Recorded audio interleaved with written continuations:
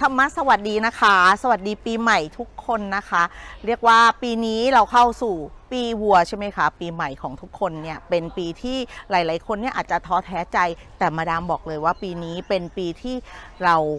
จะต้อง challenge ต้องมีอะไรท้าทายความสามารถของทุกคนเลยนะคะ เพราะฉะนั้นการที่มีสติ การที่เรารู้ปัจจุบันขณะแล้ว การที่เราจะมองก้าวข้ามผ่านตรงเหตุการณ์ต่างๆ ของปีนี้อย่าง ท้าทายความสามารถของทุกๆคนเนี่ย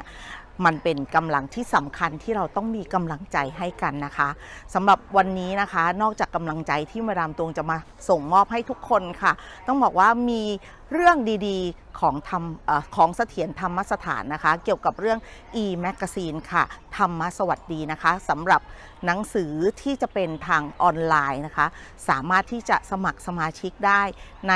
ราคาแค่วันละ 1 บาทค่ะ ตรงนี้ในเนื้อหาของหนังสือต่างๆเนี่ยรับรองค่ะมาดามว่าเราจะได้ประโยชน์แล้วก็ได้สติได้ปัญญาจากตรงนี้ด้วยนะคะ เอาละค่ะ สามารถที่จะดูได้เกี่ยวกับเรื่องรายละเอียดของ e-magazine ธรรมสวัสดี ได้ผ่านทาง Facebook ของเสถียรธรรมสถานค่ะ ก็มีเรื่องดีๆ ฝากให้นะคะ แล้วก็ขอเป็นกำลังใจให้ทุกๆท่านค่ะ รับรองเดี๋ยวมีเรื่องดีๆ จากมาดามตวงในหนังสือธรรมสวัสดีแน่นอนค่ะ แล้วพบกันนะคะ สวัสดีค่ะ